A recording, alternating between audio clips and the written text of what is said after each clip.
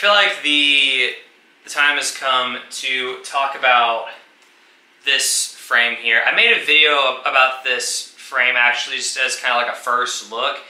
And um, I've had a few months to fly this thing and compete with it in some races, and I want to give y'all my honest opinion about it. So with that being said, let's uh, just jump right into it. So this frame is the uh, Hyperlite Floss 3 Hybrid. This is a stretched X uh, hybrid design, and what that means is, is that the arms in the front are designed for 5-inch uh, propellers, and the arms in the back are actually designed for 6-inch propellers. However, I'm running, you know, five and a half, I mean, I'm sorry, 5-inch props all the way around. These props are actually the HQ 5.1 inch props, and as you can see, um, I mean, they do fit. They don't contact this nylon canopy or anything else for that matter.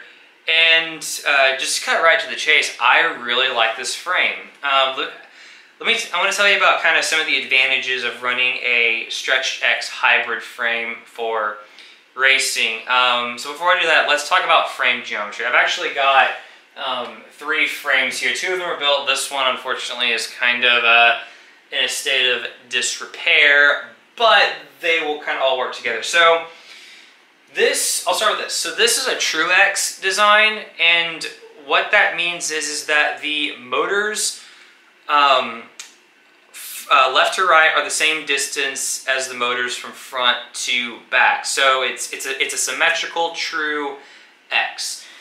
Now over here, this is my main uh, freestyle rig that I've been flying. Like this frame is like 16 months old, like, and it, it's great. I love it.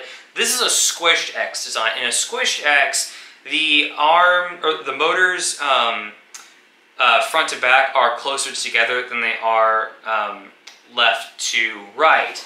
And a stretch X is the opposite of a squished X. The motors are further apart, um, top to bottom, as they are from left to right.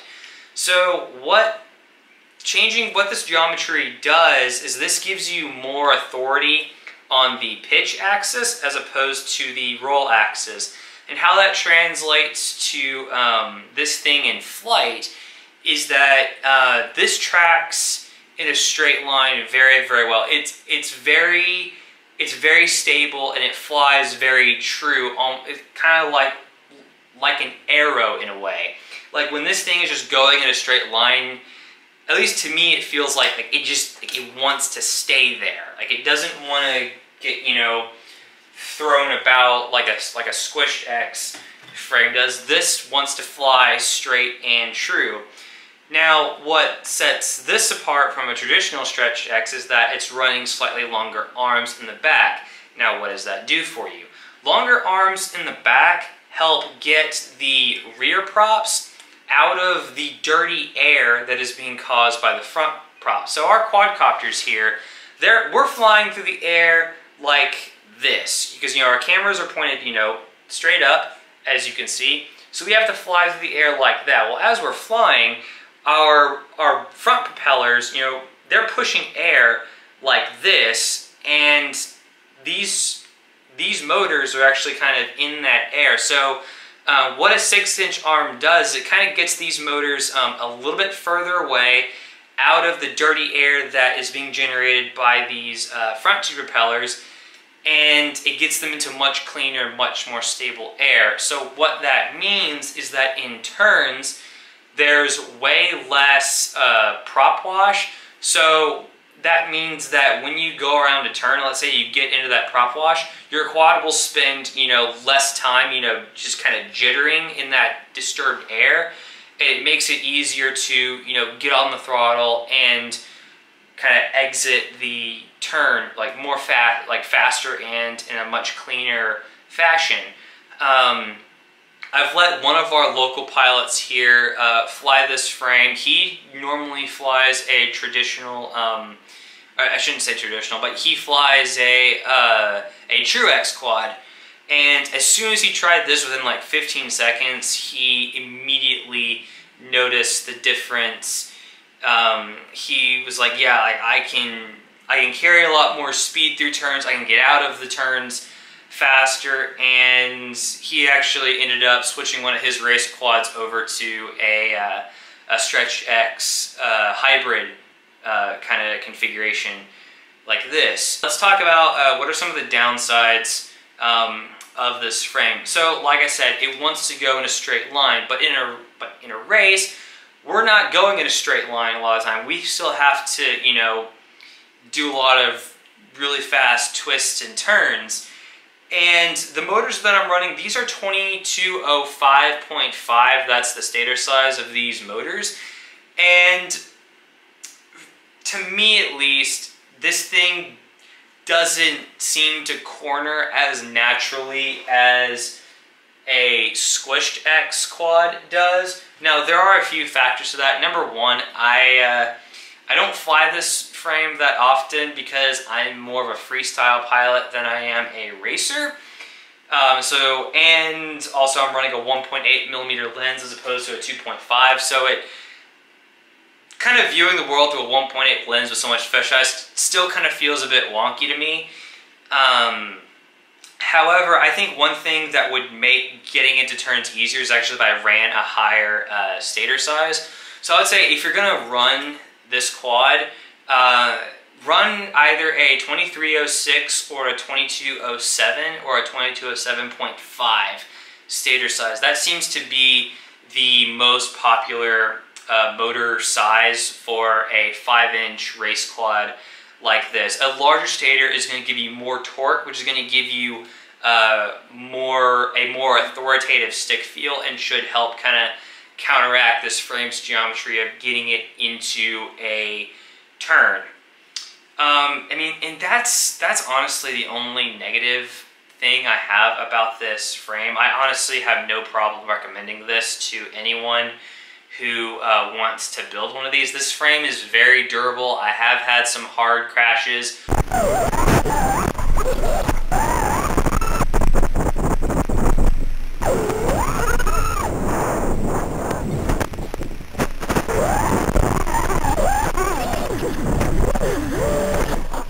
on the race course. I've yet to break an arm. These arms are five millimeters thick. This thing is built like a tank. Um, yeah, the, like this thing could take a hit and and it'll just keep coming. As for me, uh, I'm definitely going to keep using um, this race frame. Hopefully within the next few months, um, I can build an identical version of this, just obviously with different uh, motors. Just as a rule of thumb, I like to have, you know, uh, two identical setups of the quad that I'm flying, so that way, like, if and when I break a quad, I can just I have another one that's ready to go. I'll include the, the PIDs and setups that I have for this in the video description um, down below. I haven't touched filters on this quad um, as well as the BLHeli um, revision. So yeah, I'll, I'll be sure and post PIDs and stuff of this. Um, so yeah, that's that's pretty much it. Um, Oh, one, one other thing, uh, two other things I want to point out. Number one, uh, this frame does support a, uh, a 20 by 20 hardware. You can run either a 30 by 30 stack or a 20 by 20 um, stack inside of this frame, no problem. It, it has the, the mounting patterns for both.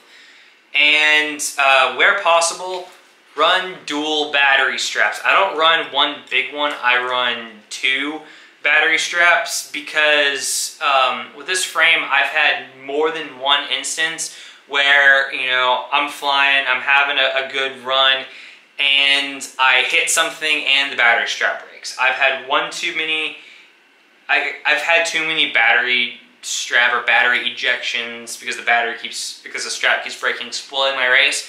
So yeah I run two of these straps and I've got to have an issue of you know me hitting something so hard that you know one of these straps break and it throws my battery across the field.